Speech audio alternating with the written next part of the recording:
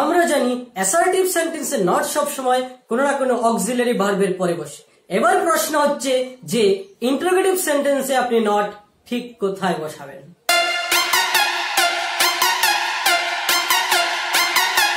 How to use not এর part one ভিডিওতে আমি আলোচনা করেছি যে অ্যাসার্টিভ সেন্টেন্সে আমরা নট কোথায় কীভাবে ব্যবহার করব।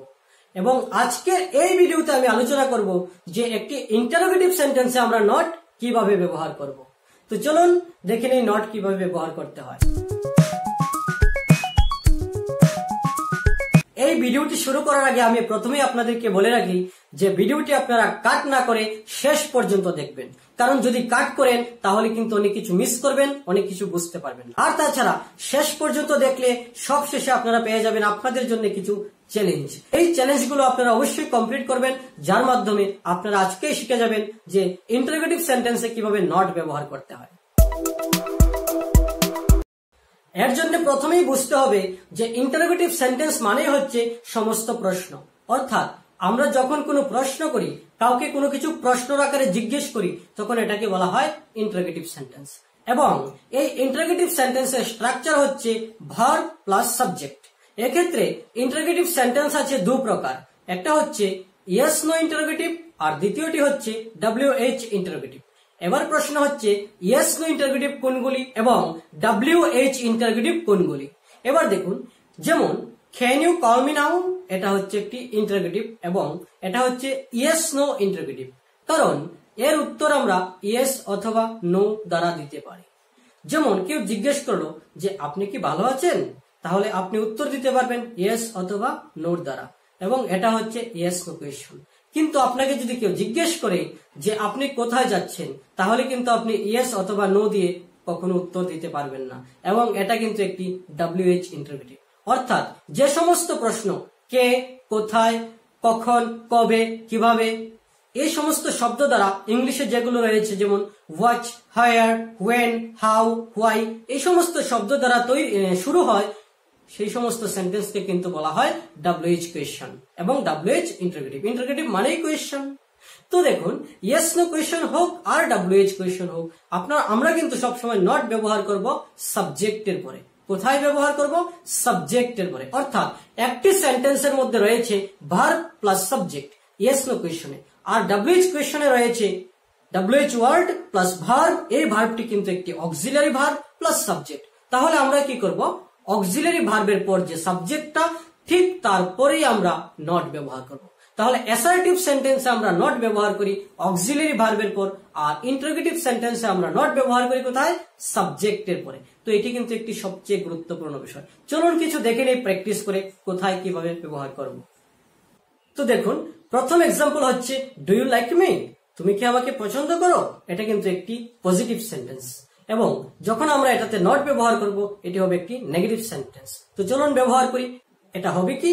এটা হবে do you not like me মানে তুমি কি আমাকে পছন্দ করো না? তো এটা হচ্ছে প্রথম উদাহরণ। দেখুন, এক্ষেত্রে do you like me do হচ্ছে অক্সিলারি ভার ইউ হচ্ছে সাবজেক্ট লাইক হচ্ছে প্রিন্সিপাল ভার মি হচ্ছে অবজেক্ট এক্ষেত্রে দেখুন, যে অক্সিলারি ভার্বের পরে যে সাবজেক্ট আছে ইউ তারপরেই কিন্তু আমি নট ব্যবহার করেছি এবং সেন্টেন্সটি হয়েছে do you not do you not like me do you not like me তো এটাই কিন্তু লক্ষ্য রাখতে হবে যে সাবজেক্টের পরে বসাতে হবে নট যদি সেন্টেন্সটি ইন্টারগেটিভ হয় মানে প্রশ্নবোধক হয়। তারপরে দেখুন, দ্বিতীয় উদাহরণ হচ্ছে যেমন আর ইউ রিডিং নাও তুমি কি এখন পড়ছো? এবার যদি আমি এটাকে নেগেটিভ করি, তাহলে কি হবে? Are you not reading now তুমি কি এখন পড়ছো না? তাহলে দেখুন, এক্ষেত্রে কিন্তু আর ইউ, আর কিন্তু একটা অক্সিলারি ভার্ব ইউ হচ্ছে সাবজেক্ট তারপরেই কিন্তু আমি নট ব্যবহার করলাম, এবং সেন্টেন্সটি হলো are you not reading now এখন আমরা জানব যে ডাব্লিউএইচ ইন্টারগেটিভ সেন্টেন্সে আমরা কীভাবে নট ব্যবহার করব। যেমন কেউ জিজ্ঞেস করল why are you writing now অর্থাৎ হোয়াই হচ্ছে ডাব্লিউএইচ ওয়ার্ড আর হচ্ছে অক্সিলারি ভার্ব ইউ হচ্ছে সাবজেক্ট রাইটিং নাও রাইটিং হচ্ছে একটা প্রিন্সিপাল ভার্ব নাও হচ্ছে অবজেক্ট এক্ষেত্রে দেখুন যে অক্সিলারি ভার্বের পর যে সাবজেক্ট ইউ তারপরেই কিন্তু নট ব্যবহার করতে হবে এবং সেন্টেন্সটি হবে why are you not writing now এবং এটার মিনিং হবে, তুমি এখন লিখছ না কেন? মানে প্রশ্ন করা হচ্ছে, কেন লিখছ না এখন? তো এইভাবে কিন্তু আমরা ডাব্লিউএইচ ওয়ার্ডে ব্যবহার করব। যেমন কেউ জিজ্ঞেস করল why are you not looking at me তুমি কেন আমার দিকে তাকাচ্ছ না? তো এটা কিন্তু একটি নেগেটিভ ইন্টারগেটিভ সেন্টেন্স কেউ জিজ্ঞেস করল যে why are you not going to school তুমি কেন এখন বিদ্যালয়ে যাচ্ছ না?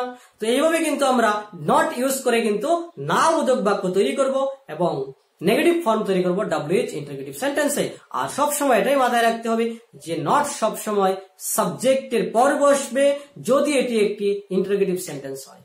কিন্তু অ্যাসার্টিভ সেন্টেন্সের ক্ষেত্রে পুরো আলাদা। অ্যাসার্টিভ সেন্টেন্সের ক্ষেত্রে হবে কি? যেমন you are good looking you are not good looking অর্থাৎ, এখানে নট বসল অক্সিলারি ভার্বের পর। এবার চলুন আপনাদেরকে দেওয়া সেই চ্যালেঞ্জগুলো দেখে নেব। এই চ্যালেঞ্জগুলো অবশ্যই আপনারা কমপ্লিট করবেন এবং কমেন্ট বক্সে জানাবেন, আমি দেখব এবং অবশ্যই রিপ্লাই দেব। এই হচ্ছে আপনাদের জন্য কিছু চ্যালেঞ্জ যেমন, প্রথমটি হচ্ছে are you well may I do something for you which work have you completed for your father when did Ram remember you why did he love me তো এই প্রতিটি সেন্টেন্সের মধ্যে আপনারা কি করবেন? নট ব্যবহার করবেন। কি করবেন?